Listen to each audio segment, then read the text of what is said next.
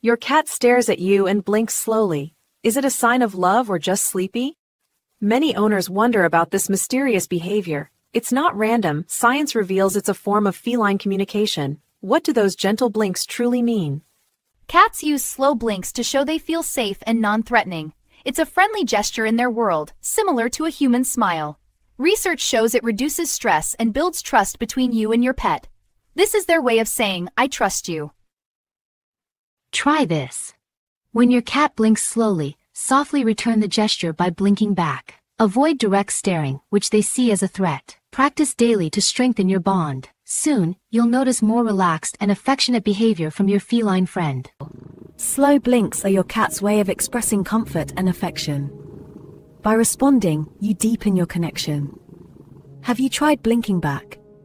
Share your heartwarming moments in the comments. Let's spread the love for our feline companions.